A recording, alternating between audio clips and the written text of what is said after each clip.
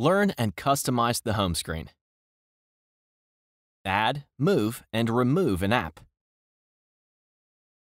To add an app to the home screen, swipe up or down from the center of the home screen to access the Apps tray. Select and hold the desired app, then select Add to Home. To move an app, select and drag the desired app to the desired location. To remove an app from the home screen, select and hold the desired app, then select Remove from Home. To uninstall an app, select and hold the desired app, then select Uninstall. Select OK to confirm. Change wallpaper. To change the wallpaper, select and hold an empty part of the home screen. Select Wallpaper. Navigate to and select the desired wallpaper. Live wallpapers or infinity wallpapers can increase battery consumption. Select the desired display option. Select Set on Home Screen. Change Theme.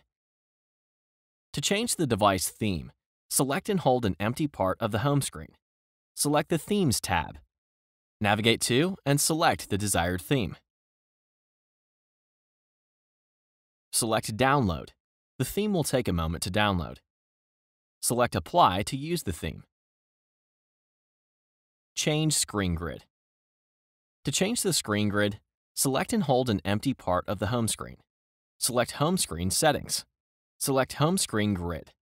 Select the desired screen grid, then select Save. Change home screens. To edit the home screen panel, select and hold an empty part of the home screen. To set the default home panel, swipe to the desired home panel, then select the home icon at the top of the screen.